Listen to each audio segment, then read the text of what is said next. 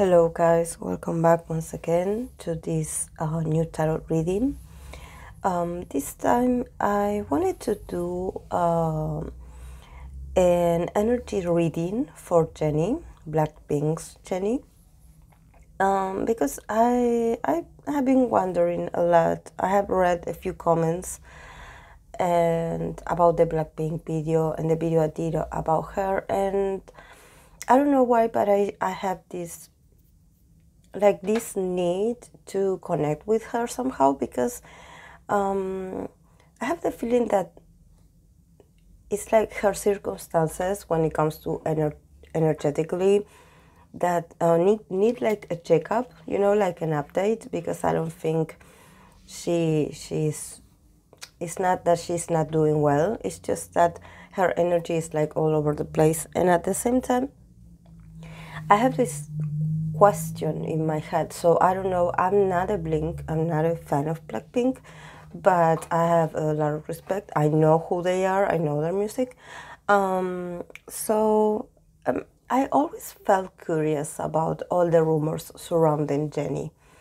I know that she is an important figure. I know that um, she gets a lot of attention. So, but I have this like always this question in my head that why her? You know why is it always her?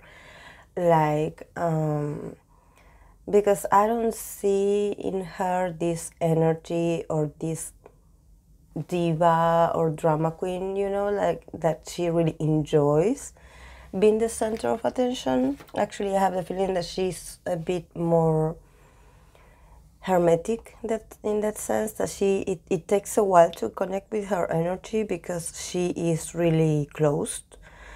She's really closed off in the sense that she when it comes to maybe career and, and, and, and goals and professional goals and stuff it's like it's, it's easy to to read her. But when it comes to her emotional state it's not that easy. So i wanted to check on her energy and to see how she is doing and um, and also if I could get an answer like about I'm sure that a lot of fans or maybe some fans know what why is the reason.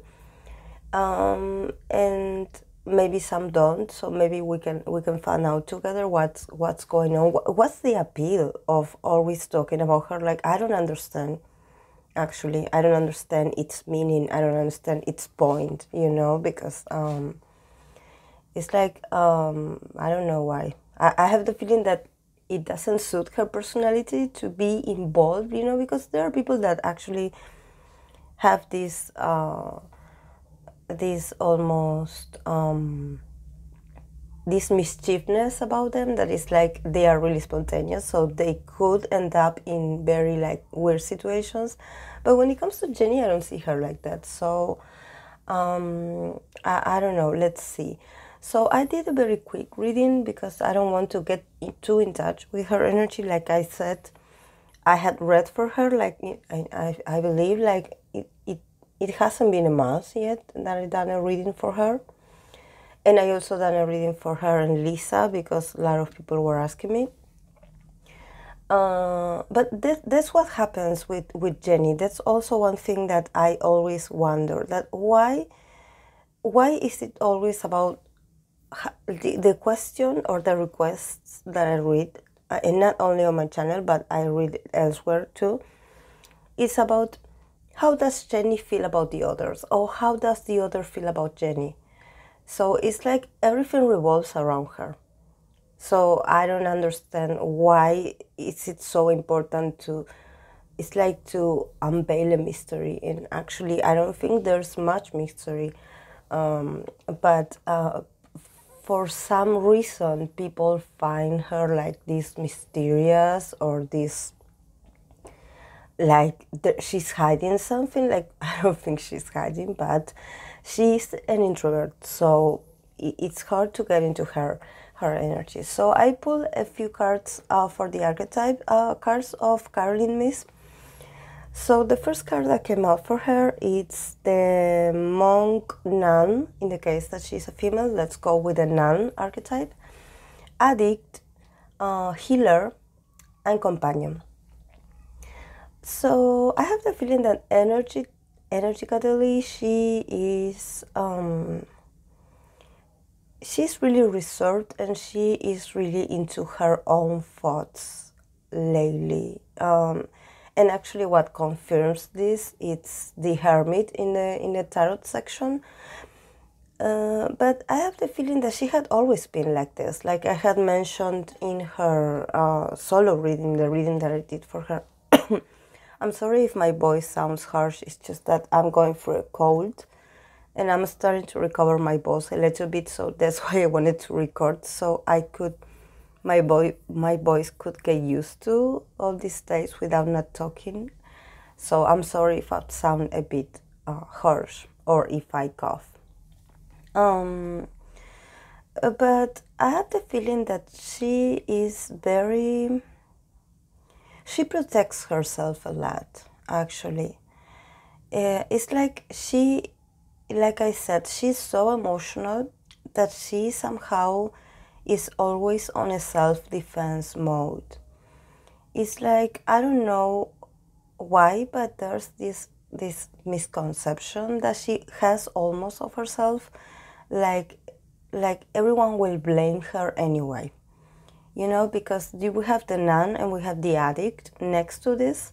So I have the feeling that she protects herself a lot or she shields herself a lot from showing her true self to others or maybe from showing this cold, detached uh, character. So you so she can fulfill your fantasy of thinking that she is the bad bitch that you think she is.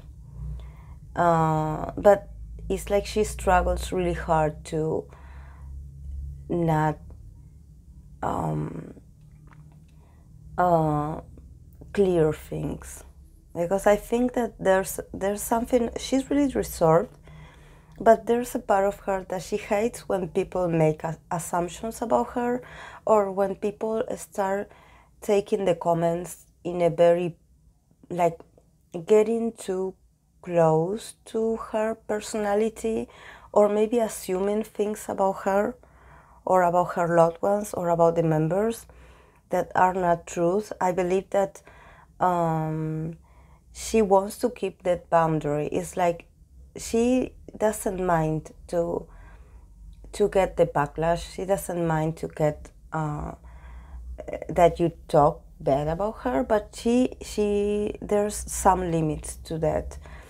And I think that what hurts her the most is the fact that she is really different from what people perceive her. But at the same time, she is really wise and she knows that um, she has this kind of aura where, where people assume that she is the bad guy from the uh, from from from the four of them. It's, it's like she it's like she's a magnet. Like I said, uh, she's a Capricorn, so like I said, I'm a Capricorn myself. So I know that we have a bad reputation when it comes to not be very open emotionally. And sometimes our gestures, especially facial gestures, it depends. We can be a bit um, judgmental when, especially when our gestures or some are silence. Um, but um, I think that she is really sensitive inside, and I think that it's like she is okay for people to to judge her and being like, oh yes, in this MV or in this uh, award show or in this performance, she looked like a bad bitch or she looked like a tough woman. But when it comes to her personal choices and her personal environment, she's not who you think she is. Actually, eh, that thing about dating and that there are some people that are like, oh well, she she she had a lot of dating rumors and she did, but I don't think it's not that they were not true. It's just that they were like a small attempts, a small tries to a small possibilities to get involved emotionally, but I don't think she has met she had been in a relationship yet. At least none in a very profound and emotionally fulfilled relationship. If, because of the nun, the nun archetype. Uh, and I'm not saying that whether she's a virgin or not, I'm just saying that it's not easy to conquer Jennie. And this has nothing to do with the fact that she's popular or she's pretty. No, this is the fact that she is very career driven and also that she has a lot of suitors, yes, and a lot of people make a lot of attempts to be seen with, with her and with the other rest of the of the girls too. But somehow Jennie is like this magnet, is like it's like the highest price for for these males. And I'm not trying to be a feminist here, but I have the sense that because she is the female, it's like she gets the bad reputation somehow. You know, and uh, there's something about uh, her emotional and romantic nature that people have no idea. And that's why her relationships don't develop. That's why once the these rumors or once these critics start to pop out or start to come out, suddenly the relationship is done. But it's actually because it takes a while for her to to be like, yes, I want to date you, or yes, I want to see you more often. so, and I think, I mean, I think about myself in, in, in her age or, or in, in my early 20s, and I was like this too. I wasn't like, sorry, that I was contemplating my options and I, um, I know that she is a public image and stuff, but it's like, um, it's like I don't understand why people need to judge her because of dating or probably dating because I don't see really I don't see and I would wish for her to find that kind of relationship that she wants. And actually I don't think because she's pretty close closed off um, she she has a lot of barriers around herself, and and I think that it has to do with her image. There's a part of her that doesn't care either. It's like she's really tired to uh, people be hating her anyway. So it's like it's like I said. It's like she's like okay, if you want to project yourself or your anger at me because I don't know, you somehow, I remind you of a bully you met or someone that bullied you or some pretty girl that was mean to you in high school, okay, whatever. But you have to be able to see beyond that she is much more than the concept that was given to her. That she's actually really healing and really caring for others. So that's why I wanted to clarify because it's like everyone is like, oh, I want to know about Jennie and this, Jennie and the others. and it's not Jennie against the other, or it's not Jennie and the others. It's the group, and it's it's just that she is like yes, she's like the bait. She she because of her popularity, she's thrown out there. You know, she's like she's pushed to the front. Like yes, go, go, be our our our, our, our bulletproof uh, best somehow. Uh, and that's the price of popularity. so that's that's sad, but it's it's how I, I sense it is. And the other cards that came out for her, it's healer, healer and companion. So she definitely has uh, the healer type. She has the ability to heal herself.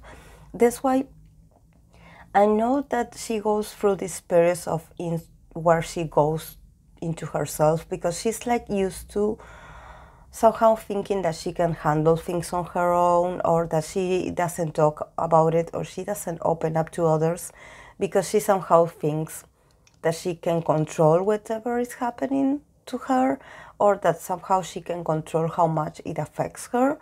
But i don't think uh, i think since uh, besides the healer uh, we have the companion card. I believe that she needs others to heal herself. She is a healer by nature. She can be able to heal others. But at the same time, uh, she is like she gathers forces uh, and she becomes stronger when she when she shares with others when she is able to be like uh, reaching out to others for help, or maybe not for help, but maybe to talk.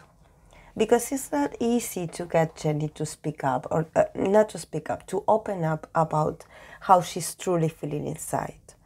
But if you're very perceptive, or if you are really warm, like I have the feeling that her friends that know her are really warm, and that they they are able to melt Jennie's ice with just a warm hug because I have the feeling that um, that uh, actually Jennie is the kind of person that you don't need to a lot of words to come through her, to see through her. You just need to reach her and touch her and hold her tight because it's like somehow that kind of warmth, the kind of close, closeness is what actually can um, destroy the barriers that she that she puts for herself. It's like somehow for her words uh, words doesn't do anything for her actually because it's like she had heard so many words and so many promises during her life that she doesn't believe in words anymore. She believes in action. Actions and she also believes in gestures and also believes in intention. So if you really want to be with her, um, you can get closer to her. And you will do whatever it takes to be close to her. So if you want to be a good friend to her, you have to approach her. Just go. Just be there. Because like I said, I remember I said in a, in a, in a reading for her that she had some kind of uh, heartbreak from the past about someone that she couldn't be with or that she cannot be with today um, and I think that one of the flaws of this of that relationship was that this person made a lot of promises to her, uh, still does, especially through messages. But when it comes to actions, he doesn't move. He's really comfortable in his castle, so to say. He's really comfortable where he is. And every time he has a free time and he reminds he remembers about her, he, he just texts her you know, just to, to see what she's up to, to bother her. I mean, to, but to nothing else, because it's like when it comes to actions, he he wasn't and he is he isn't brave enough to do something for her, to um, to build a relationship because relationship takes effort. So if you want to if you want to conquer someone, especially if you want to conquer Jennie, you have to go all the way. Or at least if you want something brief with her, you have to be honest and open about it. Because she's really communicative. Actually, she's, like I said, uh, she's not shy. You can be honest and you can be straightforward with her when it comes to males. You can you can talk to her and be like, oh yes, I'm interested in you in this way and I want to do this, and she will probably tell you, yes, I'm interested or I'm not but I believe that she is not this femme fatale that everyone thinks, that she goes around being flirty with everyone and, and winking at every male, you know, and being like, oh, yes, I got you. She's not like that, actually. She's looking for a profound relationship, and somehow it, it, it, the opportunity is not there yet, and she's not ready yet because she, she needs to work on her professional. It's, it's the Capricorn curse, you know, you have to work you have to work the first years of your life and then once you are pretty well established then you can focus on romantic relationships. Um, so the cards in the tarot that came up for her is the lovers the hermit and the ten of pentacles.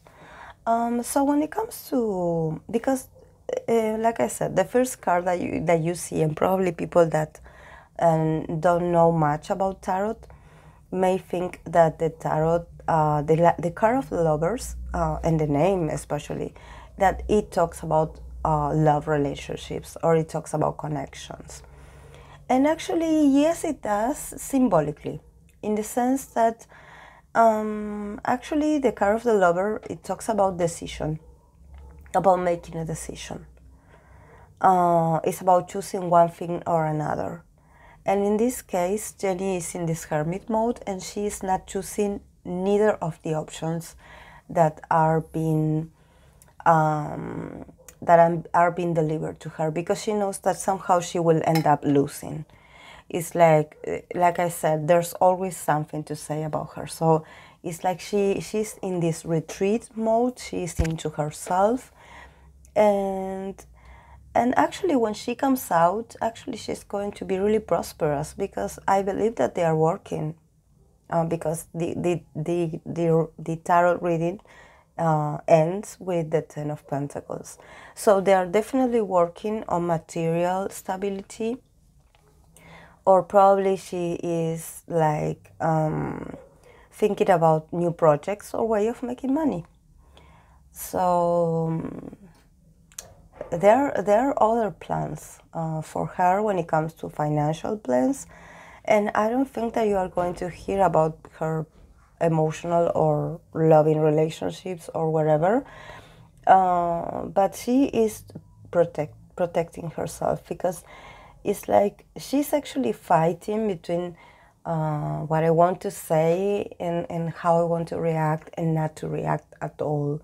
But it's just because people take whatever they want to take. So the best way is not to react, actually the best way to leave all this negativity or maybe not it's not negativity but it's just the assumptions. It's like i said people have a lot of imagination and i know that they do because they usually come to see these tarot readings in in in order to find out more to gossip about her or to gossip uh, and actually the the tarots uh, the tarot and the archetypes and and the, or, the oracles uh, itself, they are not to gossip.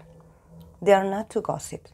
They are about to give you like a small brief um, perception or panorama about what's going on, but they are not going to give you details that you're not supposed to know. So I, I deliver what I can deliver, and if I don't say something about specific, it's because the, the tarot don't the tarot doesn't want to tell me, or the person that I'm asking about doesn't want me to know, me or anyone. So I, that's why I love to be a tarot reader, because I love to um, to also educate people that have a lot of misconceptions, misconceptions about tarot, um, especially when they want to ask about someone that they do not have the permission to ask about, or especially when there's people involved that probably doesn't want you to know what they're up to. And it's totally fine because we are individuals um, so I always am thankful to this tool. I am thankful to the tarot, but I deliver only what I can see and only what I'm allowed to see. And I don't make stuff up to keep uh, to keep the stance uh, coming to my channel, like a few people think that I I would do.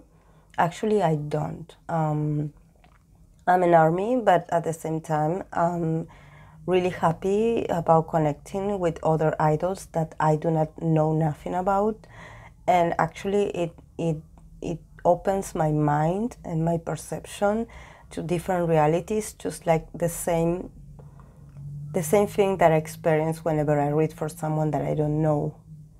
So it's a great experience, especially it helps you to lose all your prejudices and all your uh, maybe when you become too patron- patronizing, especially when you are part of a fandom or, or part of a community where everyone is feels, especially in the internet, when everyone feels entitled to say, oh, this is this and this is that. And if you don't agree with me, you are gone, you are cancelled. And you know, we're talking about people here. So we should always have our minds and our hearts uh, open. That's what I do when I try to channel their energy because um, uh, here I'm doing it for free, but actually uh, I I get paid for this. So that's why I have the free will to be like, oh yes, I want to talk about this, or I do not want to do a reading about this subject. So I hope that you enjoyed this this brief reading about um, checking up on Jennie's energy, and I'm really uh, excited to see your feedback in the comment section. I really appreciate your support and thank you for being here. I'll see you in the next video. Bye.